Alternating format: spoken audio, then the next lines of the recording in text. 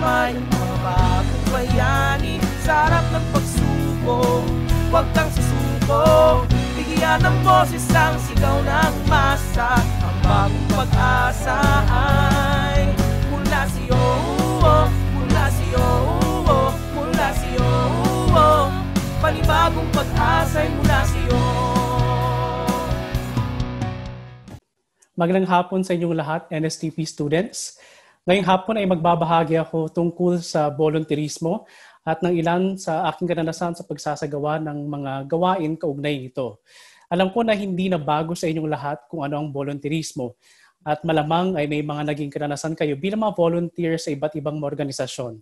Naalala ko nung uh, high school ako, ang pinakaunang volunteer activity na ginawa ko ay nung naging catechist ako um, sa isang public school dalawang beses sa isang linggo, pumupunta kami sa isang eskwelahan para magturo. At tumagal din yon ng halos apat na buwan. At yung ilan siguro naman dito ay nakaranas din ng uh, mga volunteer work sa pamagitan ng mga donation drives at relief efforts, lalo na tuwing may uh, nararanasang kalamidad ang ating bansa. Okay, so ito ang lalamanin ng aking presentasyon ngayong hapon. No? Uh, pag-uusapan natin kung ano ang volunteerismo, ganun din ang mga kaugnay na konsepto nito tulad ng lingkod aral at pahinungod. Uh, ganun din pag-uusapan natin ang iba't ibang mga programa na isinagawa ng Office of Service Learning Outreach and Pahinungod ng College of Social Sciences and Philosophy kung saan naglingkod ako bilang coordinator ito ng dalawang taon. At pag-uusapan din natin sa bandang huli ang halaga ng volunteerismo at kung bakit nga ba natin ito ginagawa at kung sino-sino man nakikinabang sa mga itong mga programa at proyekto. O ngayon, uh, ano nga ba ang volunteerismo? Okay, malamang siguro kung tatanungin ko kayo kanang volunteerismo ay uh, naka-align yung definition ninyo dito sa sasabihin ko no ito yung paglalaan ng panahon at pagbabahagi ng kakayahan upang matugunan ang pangangailangan ng isang komunidad o sektor ng walang hinihintay na financial na benepisyo. Maaring gawin ito ng isang individual o ng inyong grupong uh, inyong kinabibilangan o organisasyon, maaari kayong lumapit sa isang komunidad o organisasyon na nais yung tulungan upang matugunan ang isang partikular na issue o suliranin no, doon sa komunidad na yon. At importante sa volunteerismo na walang hinihintay o kapalit na pinansyal na benepisyo ang gagawing aktibidad. Ayon kay Wilfredo Alangui sa kanyang artikulo na Institutionalizing Volunteerism, The University of the Philippines Experience, may dalawang uri ng volunteerismo. Una, una na rito yung short-term o relief type. At ito yung mga uri ng volunteer work na pwedeng one-shot activity. Halimbawa sa mga ito ay yung pagbibigay at pamamahagi ng mga donasyon sa panahon ng sakuna. Pwede rin yung pagbibigay ng psychosocial processing at stress debriefing at yung mga medical mission. Yung mga particular na halimbawa nito ay yung pagbibigay ng training sa mga social workers, yung pagbibigay ng social support sa mga biktima ng mga sakuna tulad ng bagyo at lindol, lalo na sa mga nakakaranas ng trauma. At sa pamagitan nito ay magsasagawa ng mga aktibidad na makakatulong sa mental health ng mga individual ng apektadong komunidad pwede rin pumasok dito uh, yung pakikibahagi sa relief operations noong nakaraang lockdown sa buong Luzon. Sa mga estudyante naman ng linguistics, naging bahagi ang ilan sa mga translation projects kung saan sinasalin sa iba't ibang mga lokal na wika ang iba't ibang may impormasyon na kaugnay ng COVID-19. Ganun din ay nagkaroon ng translation sprint para sa mga learning materials na gagamitin ng mga estudyante sa kanilang edukasyon. So isinasalin ang mga learning materials na ito sa iba't ibang mga lokal na wika na siyang gagamitin ng mga estudyante sa kanilang pag-aaral. May mga tinatawag din tayo mga longer term mga volunteer activities. At dito tumatagal ng ilang buwan ang proyekto o programa. Uh, kasa, uh, halimbawa nito yung pagbubuo ng mga kooperatiba at iba't ibang programa sa mga komunidad. Gayun din yung pagsasaayos ng resettlement ng mga biktima ng sakuna. Ilan sa mga partikular na halimbawa nito ay yung cooperative development support na isinagawa sa UPLB kung saan sinusuportahan nila yung pag-develop ng mga cooperatives of agrarian reform communities. Sa UP Manila naman ay nagkaroon ng Children and Youth Welfare Program. Ito yung uh, program for street children at sa UP Mindanao ay nagkaroon sila ng partnership sa ibang mga ahensya tulad ng Regional Rehabilitation Center for the Youth and Home for Sexually Abused Children. Meron din mga community-based health programs na isinagawa ang UP Manila.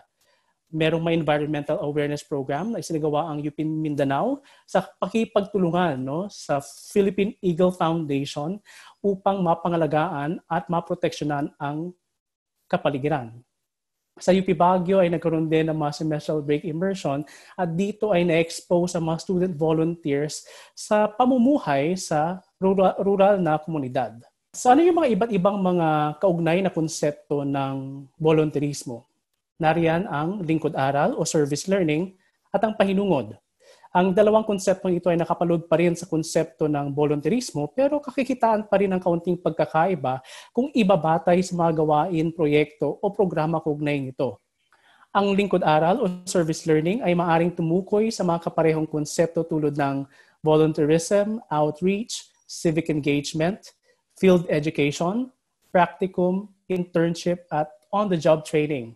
Sa magawaing ito, nagkakaroon ng mga estudyante ng oportunidad na makibahagi sa mga gawaing pangkomunidad. At ganoon din, ang service learning ay nakabase doon sa reciprocal na ugnayan ng paglilingkod at pagkatuto. So inaasahan natin na habang isinasagawa ng estudyante ang service learning ay sabay na nangyayari ang pagkatuto. At dahil ang service learning ay madalas na ginagawang component ng isang klase o kurso na kinukuha ng isang estudyante, mahalagang makita ang relasyon ng service learning activity at mga learning outcomes o objectives ng kurso. Ayon kay C. David Lisman, 1998, academically based community service is a form of learning in which students engage in community service as part of academic coursework The service experiences are connected with the learning outcomes of the course, and there is the opportunity for teacher-guided reflection on the service experience.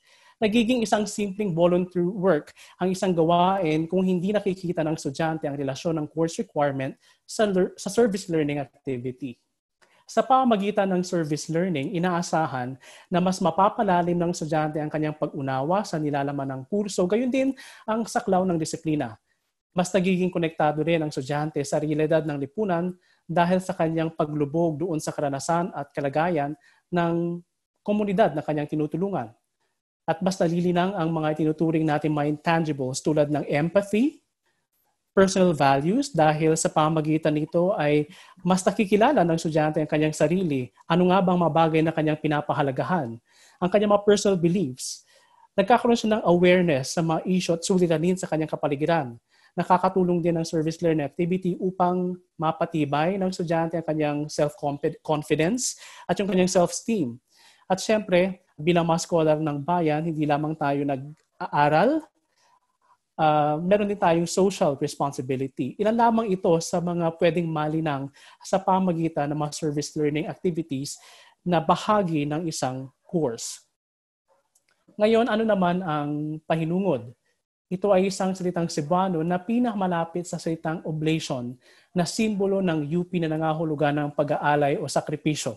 Kaya tingnan nyo na lang si oblation. Okay? Um, makikita ninyo yung ubad ng katawan ni oblation na simbolo ng pag-aalay ng sarili o pagsasakripisyo ng sarili. At bilang mga scholar ng bayan, iniaalay natin ating sarili sa ating bansa sa pamamagitan ng paglilingkod sa sambayanan at bahagi ng ating pagkatuto ang paglubog sa kalagayan at karanasan ng mga tao sa ating kapaligiran upang higit nating maunawaan ang kanilang sitwasyon upang makagawa ng paraan o kaya ay makaambag sa pagpapabuti ng kanilang kalagayan. Ngayon naman, uh, pag-usapan natin ang Oslo Pahinungod.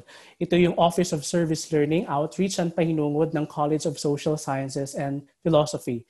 Opisyal na nabuo ito noong September 2014 at ang Uh, ito yung extension unit ng uh, ah, CSSP.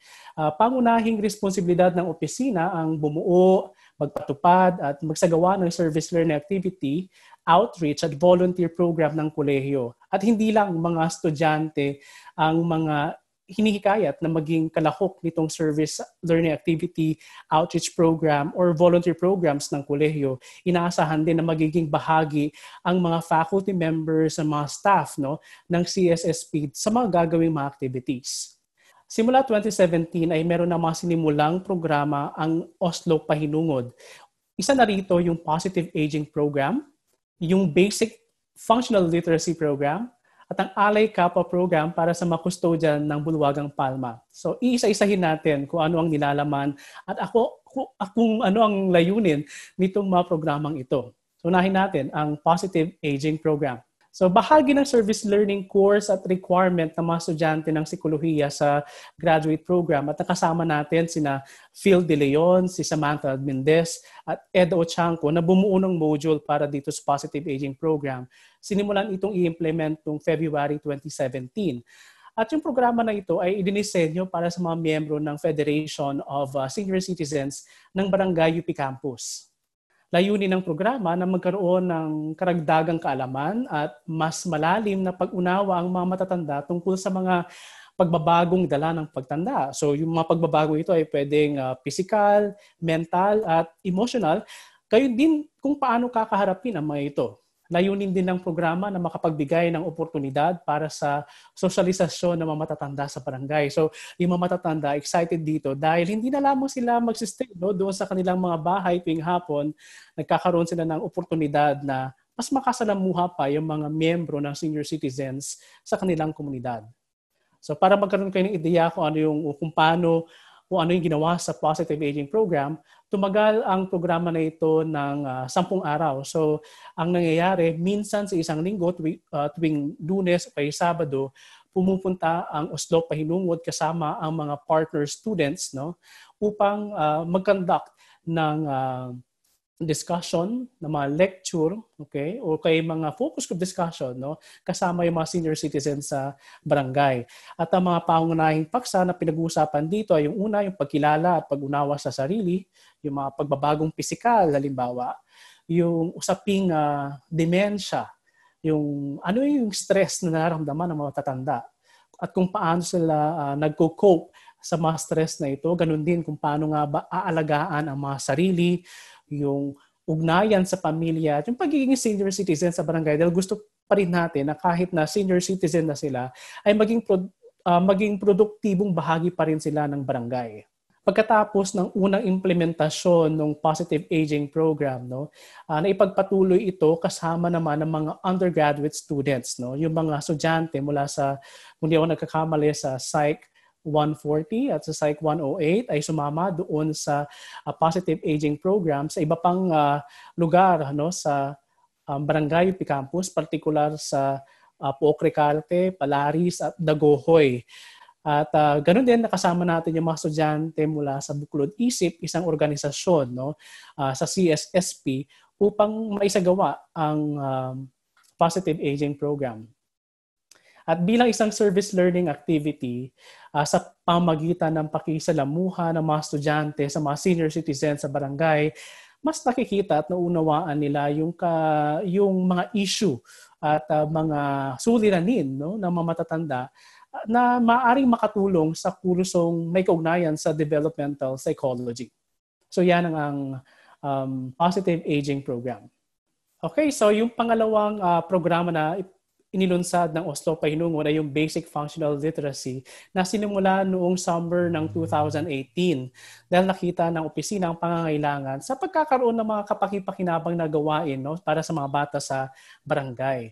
So layunin ng programa na turuan ng mga bata ng mga batayang kasanayan tulad ng pagbabasa at pagbibilang at nagmistulang ano eh um, nagkaroon ng review session at remedial session ng mga bata na muling babalik sa eskwelahan ng June. So nakasama ulit namin ang mga estudyante ng uh, principles of learning at para doon sa kanilang service learning activity, kinakailangan nilang ma-involve no, doon sa preparation ng mga materials, ganun din sa pag-identify ng mga topics na ituturo nila doon sa mga estudyante. No? So ito yung mga bagay na ito yung exposure, halimbawa ng mga estudyante doon sa community, ano ba yung mga needs ng mga bata. Ganun din, paano na i-resolve. Halimbawa, kapag ang uh, mga batang uh, magpa-participate sa program ay iba-iba no ng uh, edad. So kinakailangan magdesisyon ng mga estudyante ano mga paksa yung uh, magiging bahagi ng basic literacy uh, basic functional literacy program at ano yung mga materials na pwedeng gamitin na angkop doon sa pangangailangan ng mga batang um, magpa-participate sa program.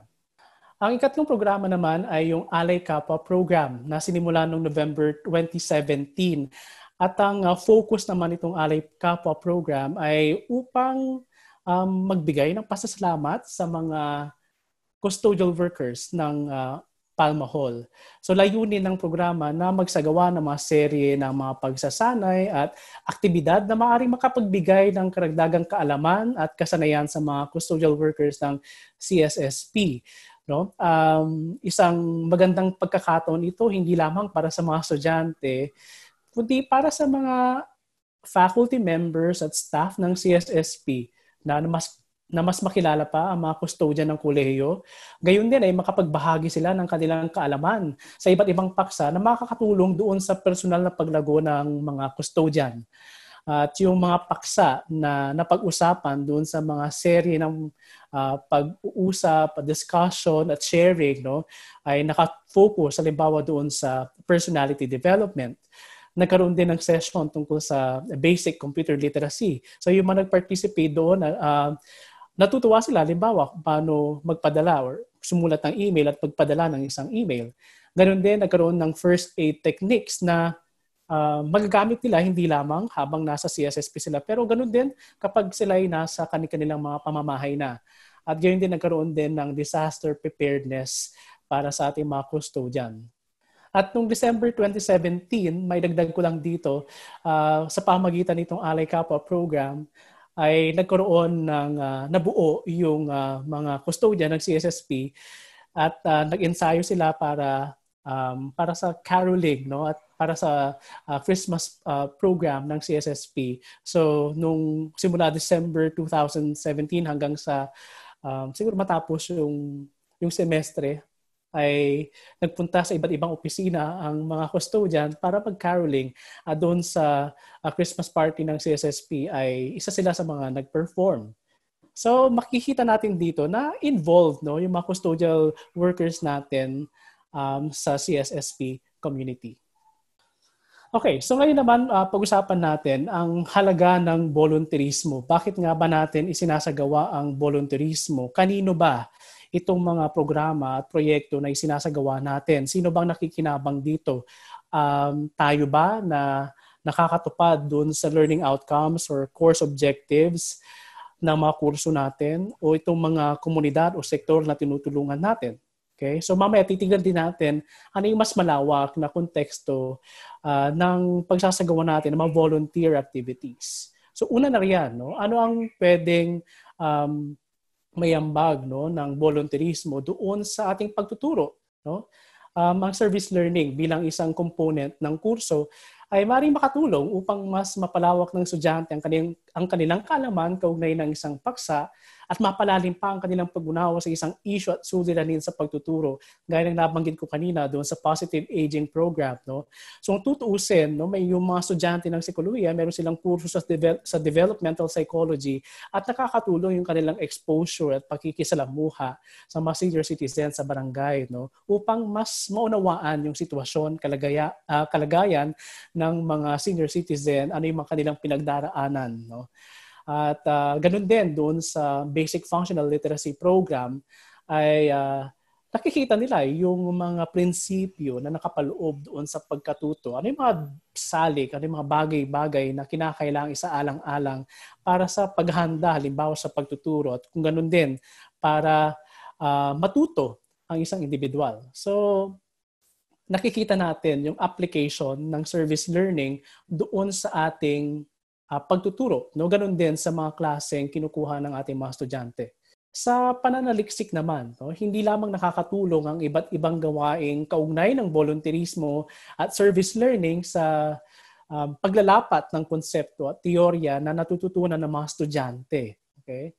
Dahil kung tutusin nga, dahil nagkakaroon ng mas practical no, na uh, kaalaman itong mga estudyante kapag na-expose sila sa isang community, no, na-inform yung kanilang mga uh, gawain sa klase. Ganun din, maaari ring maging daan ang uh, service learning o ang isang volunteer activity upang makatuklas ng mga bagong kaalaman o mga paraan kung paano unawain ang isang issue o suliranin. Ganun din, uh, sabi ni Alangi, na maaaring maging daan ang gawaing ito sa pagbuo ng mga bagong teorya o kaisipan kaugnay ng papel ng volunteerismo sa lipunan. Ganon din nakakatulong ang uh, volunteerismo sa pagpapatuloy at preserbasyon no ng kultura. Kung pag kung titingnan natin no, pahinungod, okay, volunteerism, service learning, service, paglilingkod, no. Kung tutusin, kaugnay ito nung isa sa mga magandang aspeto ng kultura nating mga Pilipino, yung bayanihan.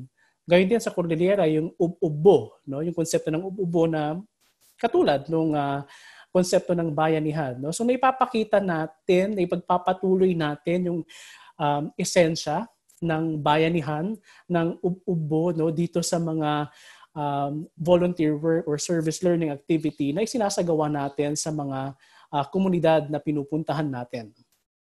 Okay, so yung mga volunteer activities na ginagawa natin o nilalahukan natin ay hindi lamang nakakatulong no doon sa ating pagtuturo, doon sa ating pananaliksik, ganun din sa preserbasyon at pagpapatuloy ng kultura. Kung tutusin, merong malawak na konteksto ito. No? Hindi lang natin ito nagagawa or ginagawa para sa sarili natin. Hindi lang natin ito nagagawa para doon sa sektor o komunidad na tinutulungan natin. No? Kumbaga, hindi lamang natatapos yung pagsasagawa ng mga gawaing may kaugnayan sa volunteerismo sa komunidad at o sektor na ating tinutulungan o kaya sa pagtupad ng mga learning outcomes o course objectives ng ating kurso nakapaloob pa rin ang gawain ito doon sa mas malawak na konteksto um, sa Forum on Volunteerism, A Vision for the Future ni uh, Jonas uh, Tetangco. Uh, sinabi niya ang mga gawain kaugnay ng volunteerismo ay maaring makaambag doon sa pagtupad ng Philippine Development Plan 2017 to 2022. Okay? Yung iba't ibang sektor mula sa iba't ibang mga pribado at pampublikong institusyon at organisasyon ay maaaring makagawa at magpatupad ng mga gawaing maaaring makatulong sa mas malinis at epektibong pamamahala na may aktibong partisipasyon ng mga miyembro ng komunidad.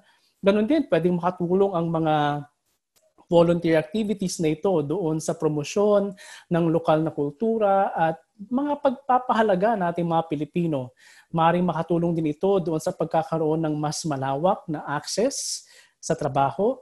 Ngayon din sa pagkakaroon ng mga ligtas na komunidad. So ito yung tinas- sinasabi nila na um, uh, ito mas malawak na konteksto ng volunteer activities natin. No? Hindi lamang natin nagagawa ang mga ito upang ma, ma, ito, ma, matulungan ang isang sektor o komunidad, ganun din para may sakatuparan ang mga learning outcomes o course objectives natin. Pero nakikita natin, merong mas malawak na konteksto konteksto ito. Hindi natin namamalayan, nakakatulong tayo doon sa, o nakakaambag tayo doon sa pagtupad no, ng Philippine Development Plan. Na ang mga bagay na ito na sinasagawa natin, akala natin ay para lamang sa klase natin o dahil gusto lamang natin magpalipas ng oras magkaroon ng kapakipakinabang na gawain sa mga bakanting oras natin, ay nakakaambag pala no, doon sa uh, plano no, para sa ating para sa development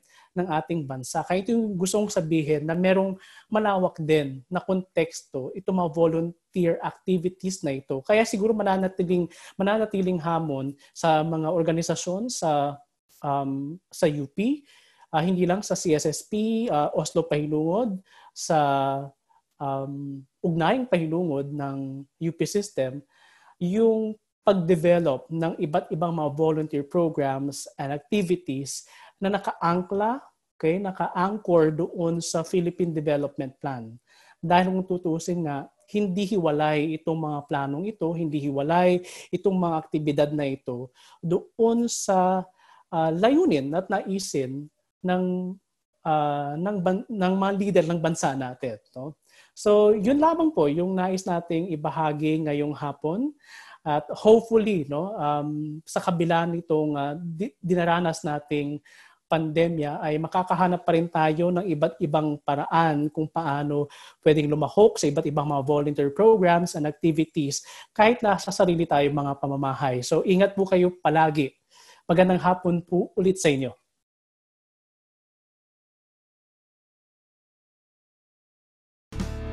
Taas kamay ang mga Sarap ng pagsuko, huwag kang susuko Bigyan ng boses ang sigaw ng masa Ang bagong pag-asa ay mula sa'yo, mula sa'yo, mula sa'yo Panibagong pag-asa'y mula 我